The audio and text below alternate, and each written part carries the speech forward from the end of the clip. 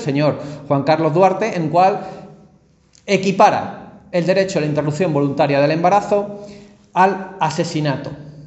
Equipara el derecho a la interrupción voluntaria del embarazo al asesinato. Tal y como suena, una posición absolutamente inaceptable. El silencio tanto del señor Feijó como del señor Moreno Bonilla son inaceptables y aquí solo le quedan dos opciones al señor Moreno Bonilla.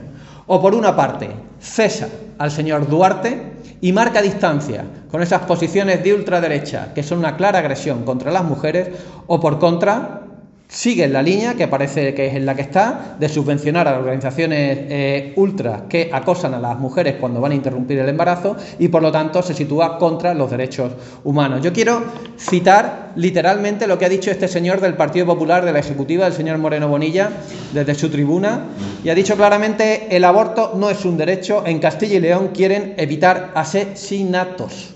Decir esto es claramente violencia contra las mujeres. Ejerce violencia contra las mujeres quien dice esto. Asesinatos son los 16 asesinatos machistas que ya llevamos entre el mes de diciembre y lo que llevamos de enero. Moreno Bonilla tiene que demostrar de qué lado está, si con los derechos humanos o con la agenda ultra que va contra las mujeres.